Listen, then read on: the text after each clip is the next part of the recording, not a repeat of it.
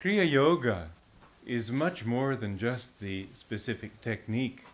It's a whole way of life. It's a whole ap- approach to an attitude toward life. It embraces all the various paths of religion and brings them all into a comprehensive whole.